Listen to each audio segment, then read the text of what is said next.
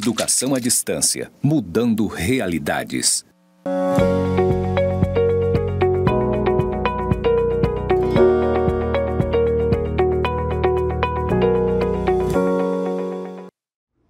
Olá, sejam muito bem-vindos a mais uma aula da pós-graduação em Gestão de Educação à Distância. Eu sou a professora Ana Cláudia Ribeiro, vou fazer minha audiodescrição. Eu tenho uma altura mediana, Sou loira, branca, dos cabelos cacheados, estou trajando um vestido colorido de mangas compridas. Estou aqui no estúdio de EAD do nosso campus, onde ao fundo um fundo branco escrito EAD Mudando Realidades. E nós vamos para a nossa primeira aula do curso Mediação Pedagógica Online e Sistemas de Tutoria. Na aula de hoje, nós vamos conhecer o nosso plano de ensino. Vamos conhecer a ementa, os conteúdos a serem estudados, a nossa forma de avaliação e os prazos que nós temos para a nossa disciplina. Vamos lá? Vou falar primeiramente um pouquinho de mim. Eu sou graduada em Letras Português pela Universidade Federal de Rondônia, com especialização em Metodologia do Ensino Superior e Mídias da Educação, com mestrado em Letras e doutorado em Letras e Literatura pela UFNT.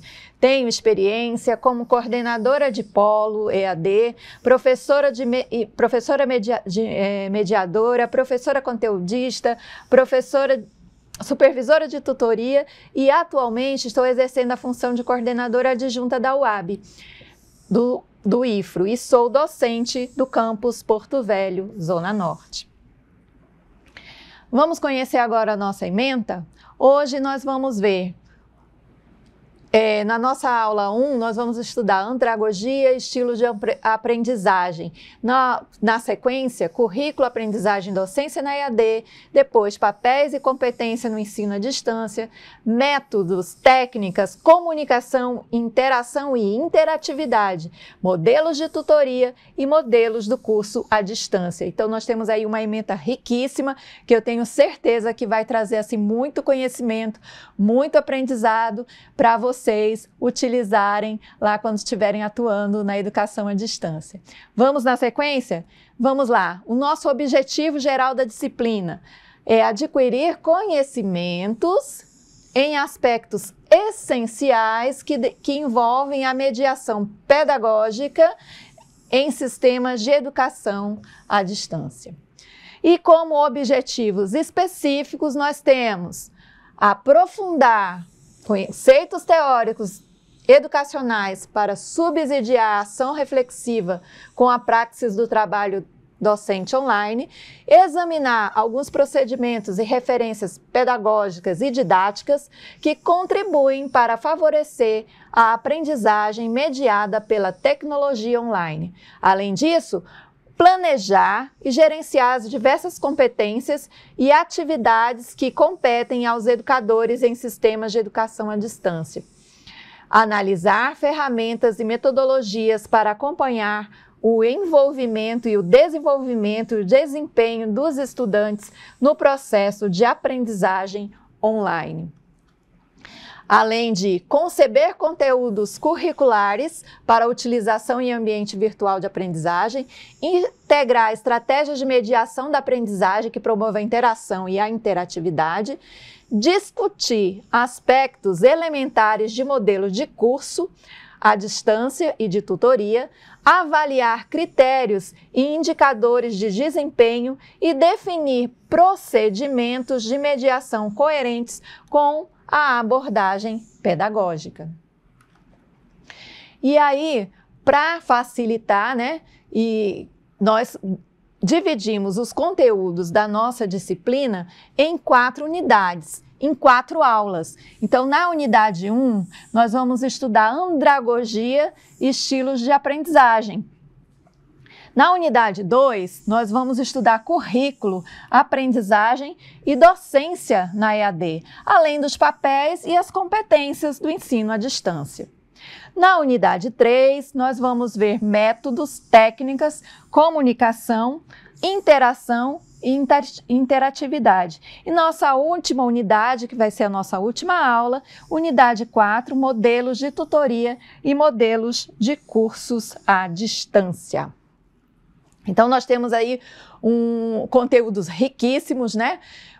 Vai ter muito, muita sugestão de leitura, muita discussão para nós interagirmos e avançarmos nesse debate né, a respeito da mediação e dos sistemas de tutoria. E ainda, nós vamos agora conhecer o nosso sistema de avaliação. Vocês vão ser avaliados da seguinte forma. Lá no ambiente virtual de aprendizagem, nós vamos ter duas atividades. A primeira atividade vai ser uma atividade realizada no Wiki e vai ser um, um questionário sobre aprendizagem na docência EAD, onde vocês irão criar o questionário e, o, e elaborando uma pergunta e uma resposta para que os colegas possam responder. E baseando-se na na leitura que nós vamos deixar indicada. Então, nós vamos indicar os textos é, sobre os conteúdos e vocês terão tempo né, para fazer a leitura. E a partir dessa leitura, vocês vão criar uma pergunta e uma resposta, de modo que assim o colega vai responder a sua, a sua pergunta e você vai responder uma pergunta de um colega. Então vocês vão ter que elaborar uma pergunta e uma resposta. Uma pergunta para o colega responder e uma resposta para a pergunta que o colega deixou lá.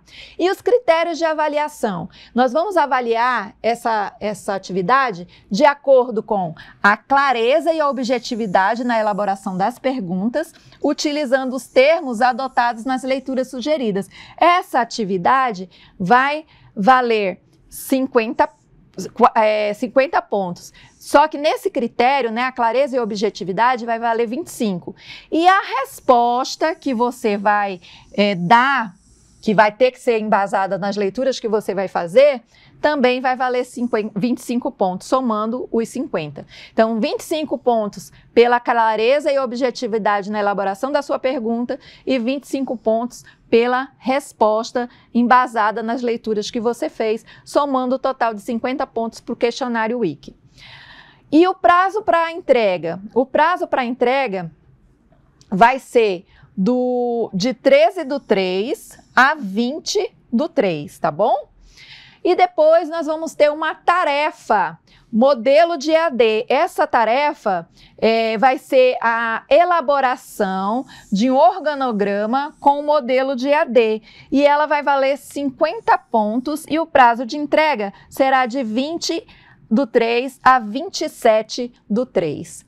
Mas não se preocupem, porque se ainda restar alguma dúvida a respeito dessa avaliação, nós vamos ter encontros síncronos, né? Que depois vai estar agendado lá no AVA, e o horário, o dia que vai ocorrer direitinho, e aí vocês poderão tirar dúvidas que ainda restarem a respeito dessa nossa avaliação, ok? Deixo também aqui as referências para Fora, lá na ementa, lá no AVA, vocês vão encontrar o plano de curso com a ementa, que tem várias outras referências, tá? Eu trouxe aqui algumas que vão estar lá disponíveis para vocês, inclusive lá na biblioteca, é, na nossa biblioteca com acesso, vai ter o link de acesso, né, para vocês conferirem na nossa biblioteca virtual. Então, o primeiro livro que eu recomendo é Andragogia em Ação, Como Ensinar Adultos, é, também da, da Zenina Belan, a Didática do Ensino à Distância, da Andréia Filatro, o Tutor na Educação à Distância, do, do Mágio, é, Tutoria e Interação em Educação à Distância, do João Matar, e Estilos de Aprendizagem e Uso das Tecnologias de Melaré. Então, essas são algumas das, das referências que eu estou destacando para vocês, mas lá no ambiente virtual tem o plano de curso e terá também no decorrer da, das unidades as indicações de referências específicas para cada unidade. Então, sugiro que vocês façam a leitura, porque elas são fundamentais para embasar as nossas discussões e a realização das atividades. Encontro vocês na nossa próxima aula. Até mais!